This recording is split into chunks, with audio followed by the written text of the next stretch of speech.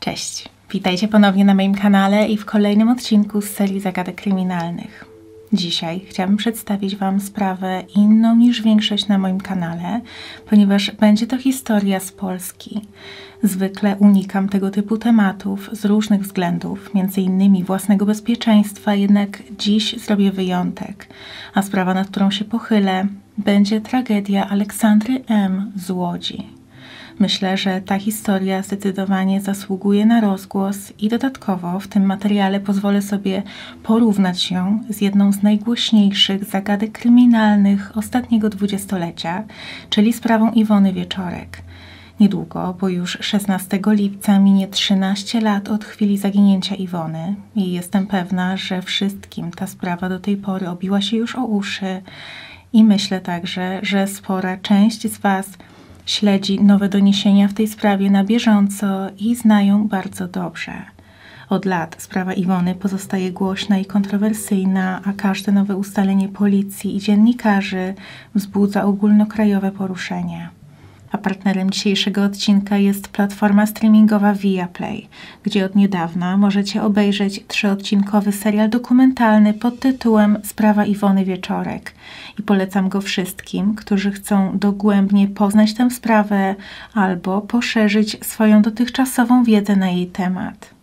W serialu znajdziecie szczegółową analizę wydarzeń z tamtej nocy oraz licznych teorii na temat tego, co mogło spotkać Iwonę.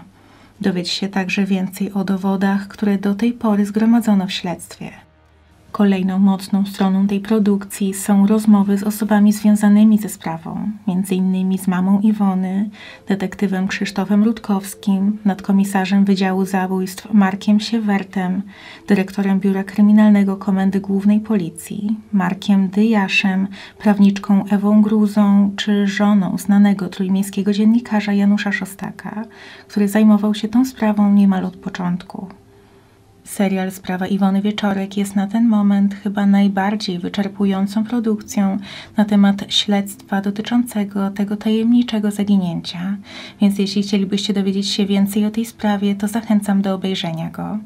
A ja dzisiaj chciałabym wykorzystać swoją platformę do nagłośnienia innej, choć zbliżonej pod wieloma względami, tragedii młodej Polki. Jeśli chcecie dowiedzieć się więcej na temat sprawy 25-letniej Aleksandry, to zapraszam Was do oglądania. 26 maja 2015 roku Aleksandra, studentka piątego roku farmacji na Uniwersytecie Medycznym w Łodzi, opuściła swoje mieszkanie w bloku przy Alei Edwarda Rydza Śmigłego. Był to Dzień Matki i mama dziewczyny, Halina, wkrótce zaniepokoiła się, że córka nie zadzwoniła z życzeniami, a nigdy wcześniej jej się to nie zdarzało. Kobieta próbowała dodzwonić się do córki, jednak bez skutku. W tym czasie dziewczyna od 4,5 roku była w związku i wynajmowała mieszkanie wraz ze swoim chłopakiem Mateuszem. Wspólni znajomi pary twierdzili, że Aleksandra i Mateusz tworzyli bardzo szczęśliwy związek i nie wyobrażali sobie życia bez siebie. Zdaniem najbliższych, Mateusz planował oświadczyć się dziewczynie kilka miesięcy później, podczas wakacji w Bieszczadach. 26 maja Mateusz wyszedł do pracy około 8.20 i dziewczyna na pewno była wtedy w domu. Z aktywności na jej komputerze wynika, że zapewne była w mieszkaniu jeszcze do godziny 12.40. Gdy chłopak wrócił z pracy, dziewczyny jednak już nie było, chociaż początkowo założył, że po prostu wyszła do sklepu. Zaczął niepokoić się, gdy obecność niespodziewanie się przedłużała. Po upływie kilku godzin skontaktował się z przyjaciółmi, do których mogła pójść Aleksandra, ale gdy okazało się, że nikt nie miał z nią kontaktu, Mateusz obdzwonił jeszcze kilka innych znajomych, później wszystkie łódzkie szpitale, obawiając się, że jego dziewczyna mogła ulec wypadkowi. Gdy te poszukiwania na własną rękę okazały się bezskuteczne, zdecydował się zgłosić zaginięcie na policję. Aleksandra miała 1,70 m wzrostu, średnią budowę ciała, proste brązowe włosy sięgające poniżej linii ramion i brązowe oczy. W dniu zaginięcia miała na sobie czarną skórzaną kurtkę, jasne dżinsowe spodnie i jaskrawo różowe lub czerwone trampki na białej podeszwie. Miała też przy sobie beżową torebkę, na szyi złoty łańcuszek z serduszkiem, a na ręku klasyczny zegarek z szarym paskiem. Wkrótce w całym mieście rozwieszone zostały plakaty z wizerunkiem zaginionej, rozwieszane przez jej zaniepokojonych znajomych ze studiów.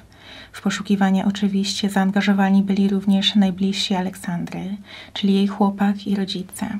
Rodzice dziewczyny byli bardzo zaniepokojeni tym nagłym zniknięciem. Zdaniem mamy, Aleksandra była zawsze bardzo odpowiedzialna, spokojna i opanowana. Nigdy wcześniej nie zdarzało jej się uciekać z domu i miała świetny kontakt z rodziną. Dodatkowo podczas rozmowy z dziennikarzami pani Halina podkreśliła, że w ostatnim czasie nie zauważyła żadnej niepokojącej zmiany w zachowaniu córki. Na pewno nic, co mogłoby wskazywać na planowaną ucieczkę. Aleksandra w ostatnim czasie stresowała się jedynie nadchodzącą obroną pracy magisterskiej, która miała odbyć się 24 czerwca. Dziewczyna poradziła sobie już z częścią teoretyczną, ale obawiała się części praktycznej. Rodzice starali się ją uspokajać i tłumaczyć, że życie nie kończy się na dyplomie. Jednak 25-latka była wyjątkowo ambitna i brała do siebie wszelkie niepowodzenia. Był to jedyny możliwy powód ewentualnej ucieczki i wytłumaczenie tego nagłego zniknięcia, jednak bliscy byli zgodni, że to bardzo mało prawdopodobny scenariusz. Rodzice zaginionej zwrócili się o pomoc do detektywa Krzysztofa Rutkowskiego, który wskazał kilka innych teorii, zdecydowanie bardziej czarne scenariusze, czyli zabójstwo, samobójstwo lub uprowadzenie. W mieszkaniu zaginionej nie znaleziono żadnych śladów włamania, plądrowania czy walki, więc założono, że Aleksandra wyszła stamtąd dobrowolnie i dopiero później mogła spotkać ją krzywda. Od czasu wyjścia z mieszkania jej telefon był wyłączony. Śledczy sprawdzili izby przyjęć szpitali, jednak kobieta pasująca do opisu zaginionej nie pojawiła się ostatnio w żadnym z nich. Zabezpieczono także zapisy z przemysłowych kamer monitoringu w rejonie, w którym zaginęła 25-latka. Z pomocą psa tropiącego sprawdzono teren osiedla oraz podlegającego do niego Parku Podolskiego. Niestety, wszystkie wysiłki okazały się bezskuteczne i nie znaleziono żadnego śladu zaginionej. Śledczy otrzymywali liczne zgłoszenia od mieszkańców Łodzi i okolic i każde dokładnie sprawdzali. Na przykład pewna kobieta skontaktowała się z policją, twierdząc, że nie tylko widziała Aleksandrę, ale także podwiozła ją samochodem na spotkanie z pewnym mężczyzną. Funkcjonariusze sprawdzili ten trop, jednak okazało się, że chodziło o inną dziewczynę, która była po prostu fizycznie bardzo podobna do zaginionej. Z pozostałych wskazówek wynikało, że studentkę widziano w różnych miejscach od dnia jej zaginięcia, m.in. w rejonie ulicy Traktorowej i Aleksandrowskiej na Teofilowie. Tych informacji nie sposób było jednak zweryfikować i jedyne, co było pewne na tamten moment, to, że nie doprowadziły do odnalezienia zaginionej 25-latki. W ramach poszukiwań policja podjęła także współpracę z pracownikami Miejskiego Przedsiębiorstwa Komunikacyjnego oraz Służby Ochrony Kolei. Chcieli sprawdzić, czy Aleksandra nie jechała tramwajem, autobusem lub pociągiem po swoim zaginięciu. 2 czerwca 2015 roku powołano pięcioosobową grupę specjalną, która miała skupić się na poszukiwaniach. Grupę tę tworzyli doświadczeni, mający długi staż pracy policjanci z Wydziału Kryminalnego, którzy przejęli sprawę od policjantów szóstego komisariatu w Widzewie, którzy do tej pory się nią zajmowali. Tego samego dnia grupa policjantów z udziałem strażaków i ekipy detektywa Krzysztofa Rutkowskiego skupiła swoją uwagę na stawie przy ulicy Przędzalnianej. Najpierw strażacy na pontonach przepłynęli cały akwen, sprawdzając, czy na wodzie lub tuż pod jej powierzchnią nie znajduje się ciało zaginionej. Gdy nic nie odnaleziono, do akcji wkroczyli płetwonurkowie, którzy sprawdzili wszystkie miejsca, w których mogły znajdować się zwłoki, ponownie bez skutku. Dwa dni później, w godzinach popołudniowych, specjalny oddział policji zaczął przeszukiwać okolice parku nad Jasieniem. Płetwonurkowie sprawdzili także dno tamtejszego stawu, podczas gdy reszta ekipy sprawdzała brzegi i okoliczne rejony, ale również bez rezultatów. Następnie policja z psami tropiącymi przeszukała ogródki działkowe przy ulicy Milionowej oraz tereny między działkami i obszarem przemysłowym na Widzewie. A współpracownicy Krzysztofa Rutkowskiego sprawdzili kilkadziesiąt studzienek kanalizacyjnych wokół miejsca zamieszkania 25-latki. Jednak po Aleksandrze nigdzie nie było śladu. Detektyw wyznaczył nagrodę w wysokości 10 tysięcy złotych za informacje, które doprowadzą do przełomu i jak miało się wkrótce okazać, ten był już na horyzoncie. W czwartek, 17 czerwca 2015 roku, sprawa doczekała się przełomu, ale niestety nie była to radosna wiadomość, na którą czekali bliscy i przyjaciele zaginionej. Rano około godziny 10 w przemysłowej części Widzewa znaleziono zwłoki młodej kobiety. Pracownicy przycinający drzewa pod liniami wysokiego napięcia poczuli bardzo mocną, nieprzyjemną woń. Przerwali pracę i podążali w stronę miejsca, w którym zapach był najbardziej intensywny i trafili na oparte o drzewo ciało dziewczyny. Zwłoki znajdowały się ponad pół kilometra od żwirowej drogi rozpoczynającej się przy ulicy Technicznej 20. Oczywiście zawiadomiona została policja i wkrótce na miejscu pojawili się funkcjonariusze, którzy ogrodzili teren taśmami. Policjanci wraz z prokuratorem i lekarzem sądowym przeprowadzili wstępne oględziny miejsca i ciała. Zwłoki znajdowały się w stanie uniemożliwiającym identyfikację, jednak obok znaleziono również pewne przedmioty osobiste, takie jak biżuterię i torebkę, w której znajdowały się dokumenty, i one wszystkie wskazywały na to, że jest to zaginiona Aleksandra. Kobieta była również ubrana w dokładnie taki sposób, jaki opisano podczas zgłaszania jej zaginięcia. Przy ciele znaleziono nóż, a usytuowanie ciała wskazywało na to, że śmierć mogła mieć charakter samobójczy. Jednak ze względu na zaawansowany stan rozkładu ciała ustalenie dokładnej przyczyny zgonu nie było możliwe podczas tych wstępnych oględzin. Podczas sekcji nie stwierdzono żadnych obrażeń kostnych, które mogłyby świadczyć o urazie. W ocenie biegłego sądowego śmierć kobiety mogła nastąpić w dniu zgłoszenia zaginięcia. Przy zwłokach, oprócz ostrego narzędzia, znajdowała się także plastikowa butelka, częściowo wypełniona cieczą, kubek oraz plecak. Nie stwierdzono natomiast widocznych śladów obecności innych osób. Stan zwłok uniemożliwiał okazanie rodzinie i w celu potwierdzenia tożsamości przeprowadzono badania DNA. Polsce dziennie na policję spływa średnio 31 zgłoszeń zaginięć. Większość z nich udaje się rozwiązać dość szybko, ponieważ są to przypadki nieporozumień albo rodziców, którzy wolą dmuchać na zimne, gdy przez dłuższy czas nie mogą skontaktować się ze swoimi dziećmi. Jednak są również takie przypadki, które kończą się tragicznie albo zmieniają się w trwające latami śledztwa. Aktualnie w Krajowym Systemie Informacji Policji figuruje 2418 zaginionych osób jedną z najbardziej znanych spraw zaginięć, która w odróżnieniu od przypadku Aleksandry do dziś nie doczekała się rozwiązania, jest wspomniana przeze mnie na początku tego odcinka sprawa Iwony Wieczorek.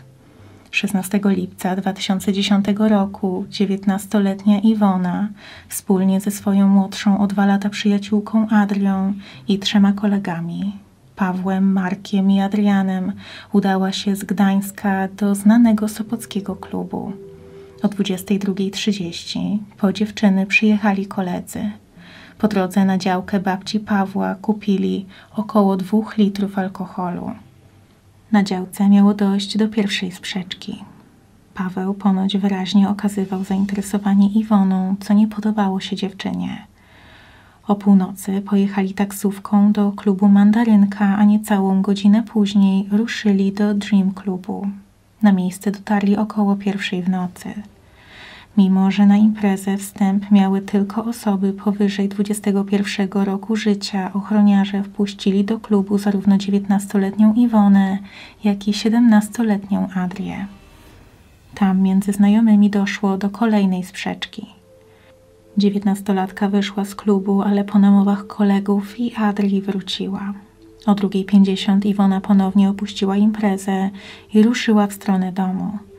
O 3.49 telefon Iwony rozładował się, a o 4.12 kamery zarejestrowały ją ostatni raz. Monitoring nagrał dziewiętnastolatkę w okolicach lokalu Bacówka przy wejściu na plażę numer 63. Przez wiele lat w poszukiwanie dziewczyny zaangażowany był detektyw Krzysztof Rutkowski. Tak jak w przypadku Aleksandry, wyznaczył on nagrodę za pomoc w sprawie. W przypadku Iwony było to jednak aż 200 tysięcy złotych. Pieniądze miały trafić do osoby, która przyczyni się do odnalezienia dziewczyny albo jej ciała. Tajemniczym zaginięciem dziewiętnastolatki zajmował się również przez wiele lat zmarły w 2021 roku Janusz Szostak. Dziennikarz śledczy napisał o tej sprawie dwie książki. Co się stało z Iwoną Wieczorek i kto zabił Iwonę Wieczorek. Założył również fundację na tropie, zajmującą się odnajdywaniem osób zaginionych. Opisał też historię szokującego telefonu, jaki matka zaginionej dziewiętnastolatki odebrała od nieznajomej kobiety, która sugerowała, że Iwonę mógł zabić ksiądz z jej parafii. Ten trop jednak, tak jak wiele wcześniejszych, prowadził donikąd. Matka Iwony, podobnie jak rodzice Aleksandry, twierdziła, że miała bardzo dobry kontakt z córką. Iwona lubiła się jej zwierzać, a dodatkowo miała bardzo konkretne i ambitne plany na przyszłość, więc ucieczka nie była brana pod uwagę. Przez lata w poszukiwania zaangażował się również Jasnowic, lokalni politycy i mieszkańcy Trójmiasta. Sprawa ostatecznie odbiła się echem dosłownie w całym kraju. W 2017 roku przeprowadzono ponowne poszukiwania, tym razem w Jelitkowie. Policjanci z użyciem specjalistycznego sprzętu szukali ciała dziewczyny albo jakiegokolwiek jej śladu w parku Regana. A kilka miesięcy później przeszukano także trójmiejski park krajobrazowy, ale niestety nigdzie nie znaleziono śladu dziewiętnastolatki. W marcu 2020 roku przeszukano teren działki babci Pawła przy ulicy Reja w Sopocie, gdzie Iwona Wieczorek bawiła się ze znajomymi przed wyjściem do klubu. Przez kilka dni funkcjonariusze badali każdy centymetr ogródka. Znaleźli tam innymi szczątki ubrań, ale jak wykazało późniejsze śledztwo, nie miały one żadnego związku z zaginięciem dziewczyny. Poszukiwania Iwony trwają do dziś, jednak śledztwo, mimo ogromnego rozgłosu i wysiłków wielu osób, w tym najwybitniejszych ekspertów w Polsce, cały czas stoi w martwym punkcie.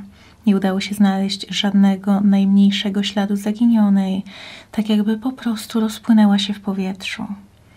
A w grudniu 2022 roku Paweł, który bawił się wraz z Iwoną tamtej feralnej lipcowej nocy, został oskarżony o utrudnianie śledztwa ze względu na usuwanie śladów i dowodów, zacieranie śladów przestępstwa, a także podawanie nieprawdziwych informacji w sprawie. Obecnie śledztwo prowadzi Małopolski Wydział Zamiejscowy Departamentu do Spraw Przestępczości Zorganizowanej i Korupcji w Krakowie, czyli tzw. Tak Archiwum X – sprawie zostało przesłuchanych kilkuset świadków, sprawdzono kilkanaście hipotez, ale jak do tej pory niestety wszystko na nic. Powody, przez które to akurat sprawa Iwony Wieczorek tak bardzo zaangażowała rzesze internautów, są różne. Jedni mieszkają na terenie Trójmiasta, drudzy byli tam przejazdem, gdy zaginęła, jeszcze inni po prostu są zafascynowani zagadkami kryminalnymi, a tego typu zaginięcie wręcz nie mieści się w głowie.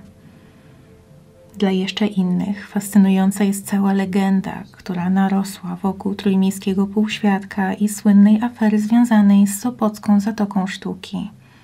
Na forach poświęconych Iwonie aktywnie udziela się aż 25 tysięcy internautów, a tysiące innych czeka na rozwiązanie tej sprawy. Mama Iwony Wieczorek wielokrotnie podkreślała, że nie traci nadziei, że uda się jej ustalić, co stało się z córką 16 lipca 2010 roku. I to jest już koniec tego odcinka. Zarówno sprawa Aleksandry, jak i Iwony to wstrząsające tragedie. I jedyne, co można teraz robić, to podnosić świadomość na temat tego typu przypadków, przede wszystkim ku przestrodze młodym osobom, zwłaszcza kobietom, oraz liczyć na to, że Iwony nie spotkał podobny los do Aleksandry. Niedługo od czasu zaginięcia Iwony minie 13 lat, jednak nie można też tracić nadziei, ponieważ znane są przypadki, w których zaginione osoby udawało się odnaleźć żywe, nawet po ponad dwóch dekadach. Na koniec jeszcze raz chciałabym zachęcić Was do obejrzenia serialu dokumentalnego Sprawa Iwony Wieczorek. Trzy odcinki są już dostępne na platformie streamingowej Viaplay, a obok tej produkcji znajdziecie tam również wiele innych seriali z gatunku True Crime, w tym produkcje Tajemnice polskich morderstw oraz wiele zagranicznych produkcji z tej kategorii. W komentarzach możecie oczywiście jak zwykle dzielić się swoimi przemyśleniami na temat przedstawionych dzisiaj spraw, proponować tematy do kolejnych odcinków z tej serii oraz jeśli mieliście już okazję oglądać ten serial dokumentalny, to jestem bardzo ciekawa, jakie są Wasze odczucia na jego temat. A teraz bardzo dziękuję Wam za oglądanie i do zobaczenia niedługo. Cześć.